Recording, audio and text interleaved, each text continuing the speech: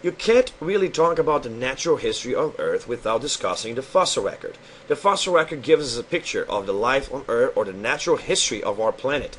It will tell us about the kinds of organisms that used to exist. It will tell us about mass extinctions. It will tell us about new species showing up in the fossil record. And there is a certain degree of bias because it's not every single animal that's preserved, but it does gives us a very good picture of how life used to be and the processes that it went through to, for life to change over time. So it shows us patterns of biodiversity just like it's, we can see it today. And this allows us to have a greater uh, time to actually explore the process of evolution. And in fact, if you were to try to explain the fossil record without the theory of evolution, you would have to come up with some very convoluted explanations.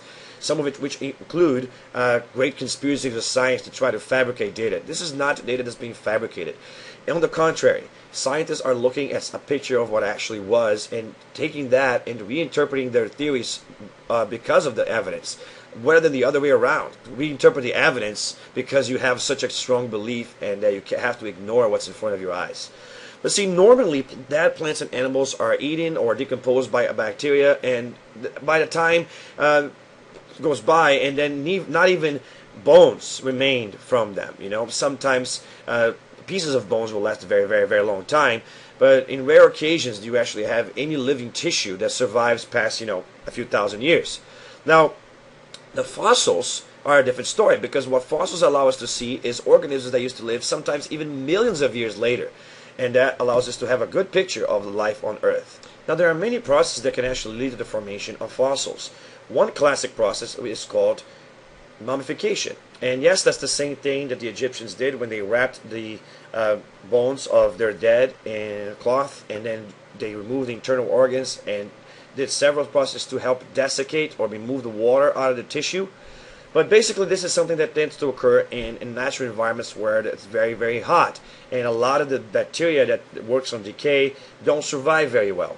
And so you have very long time preservations of the living tissue eh, because you delay the decay process. And mummified remains have been found that have been thousands and thousands of years old. There is also freezing, which is a process by which an organism becomes frozen, say on a glacier, and then thousands of years later we can recover that organism from the ice and pretty much be intact as long as the ice preserved its its, its contents.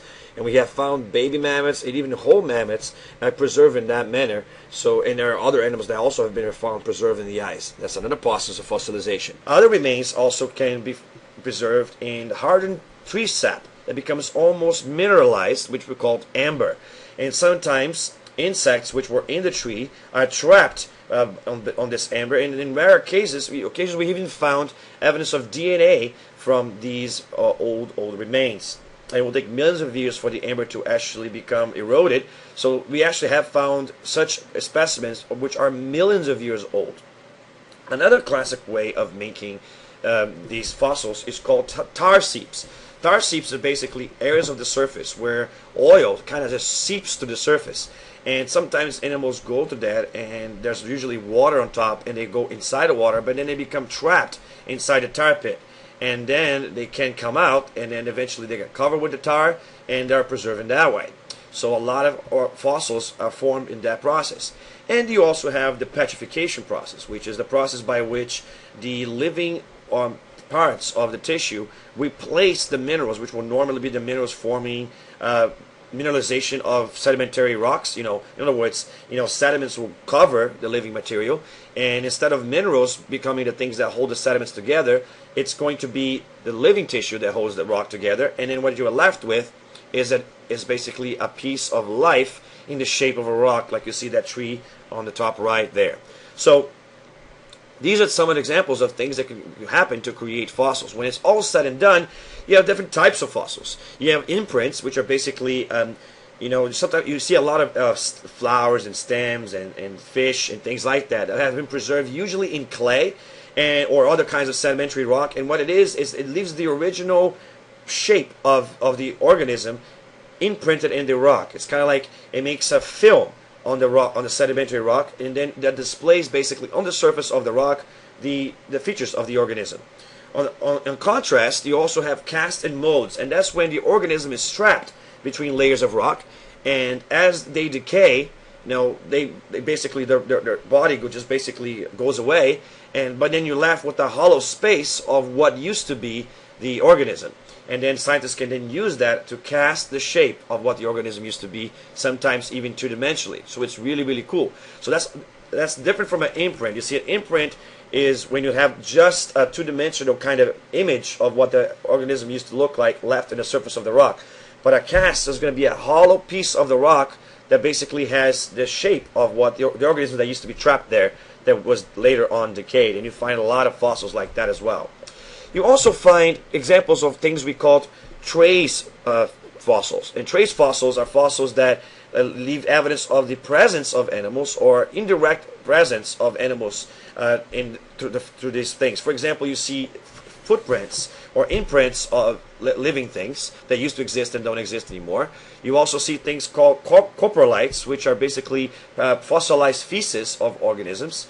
And you also see gastroliths, which are, in, for example, dinosaurs used to have rocks in their stomachs. And so you see these rocks as evidence of sometimes preserving the rocks of the kinds of things that they used to eat. And so these rocks they had in their stomachs to help them digest and grind the food. And now they're usually found near the stomach area of fossils, like you see on the right side there, the image. So these are different types of fossils that we actually look at. But why are fossils so important to study the, the history of life? Because they can tell us about the progression of, of life and how life has changed over time. One special type of fossil is called an index fossil. Index fossils are fossils that only exist up to a certain point or that only exist during a certain era of the history of the Earth, like the ones you see in the pictures on the bottom right there. Now, what that means is that you can use the presence of that fossil in a rock to help date that rock. For example, if you find a trilobite in a rock, you know it must be from the Paleozoic area because no rocks after the Paleozoic area have trilobites. Trilobites went extinct at the end of the Permian period. That means that if you see trilobites, it must be a rock that's at least 250 million years old. So you see how you can use the index fossils to help date the rocks. Likewise, you know, uh, rocks, uh, fossils like ammonites and belemnites are from the Mesozoic area. They did not survive the Cenozoic extinction. So that means that if you see those fossils, you know they're from the era where the dinosaurs used to dominate the Earth. And scientists use these index fossils to kind of find out what certain layers of rock, what time period certain layers of rock belongs. Sometimes areas of rock are elevated or go down because of movements of the crust, but you can use these fossils to, to help identify, you know, what area is older and what area is younger. Remember that because of sedimentation rules, typically what's near the surface is usually younger. Now, while that's true, sometimes the surface of one area is older than the surface of another area, like you see in the top right. So, using index fossils, scientists can correlate different areas of the Earth and time different areas of the rock and, and using these index fossils. So, index fossils again are fossils used to time the rock, to date the rock, because they are fossils that only occur in certain areas of the Earth. Now, the thing about the fossil record is there's there's some sort of bias in the fossil record, because it, typically it's only going to be the organisms that live in certain areas that have to tend to be preserved. It's very rare for you to find, you know, very very old fossils from areas which are deserts. One because there's not a lot of living things living there, and second because you're not going to have a lot of processes such as sedimentation and things like that leading to the formation of fossils. Usually, you need you know running water and mud slides and things like that to cover the fossils and form the, the fossils which we have today. And you're not going to see that much in in those areas. Likewise, uh, there's some anatomical features that make the animals more likely to be preserved in fossils. Uh, animals that have hard shells, animals that you know live in certain areas, they will be more likely to be preserved than others. Likewise, animals which are more common, of course, are going to be more likely to be preserved. So sometimes what we see in the fossil record are not just the animals that got lucky to be preserved, but usually the ones which are more common because they're more likely to be the ones fossilized since they're the more common. Likewise, animals which were spread over long areas of the world are, have a greater chance of being fossilized because they're, again, more common space wise. So that means that when we look at the fossil record, we're not necessarily seeing all the life that used to exist on the earth. We're seeing sometimes animals which have certain features or certain types of niches or they have more are more common or spread over longer areas. But there is such examples of animals which were rare and by luck they were preserved. But you need to understand that there's a bias in the fossil record and that we're not really seeing all of the life that used to exist, but only a minority of the life that used to exist. And even in that, there's been thousands and thousands of different species identified in fossil records. So imagine how much life there was since we haven't preserved all of it. Another interesting thing about fossils is the idea of missing links, and that as we look at the progression of the fossil record, we can see how evolution made changes in the, in, the, in life. Sometimes we have gaps that we don't have that that leap, and a lot of people use those gaps to say, "Hey, see, there's no explanation for why how you go from here to there."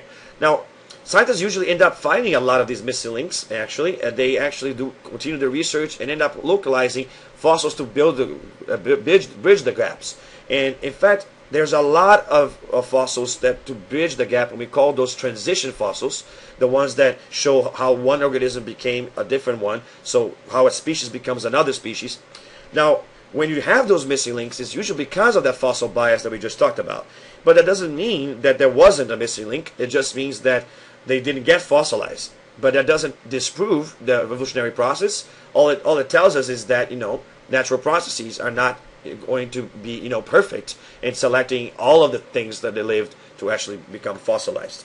So that's the fossil record, and I hope you learn a lot. And, and you don't necessarily need to learn all this detail, but you definitely need to know that fossils are important for the history of evolution, and that fossils in the bottom tend to be older than fossils in the top. And when we see uh, an organism disappear in the fossil record, we know that it, that organism went extinct. And sometimes we see new organisms appearing, knowing, mean, which meaning that they they uh, evolved during that period. And because of that, we can sometimes use organisms to date the rocks and they're called index fossils. All right. Hope you learned a lot. I'll see you in the next video.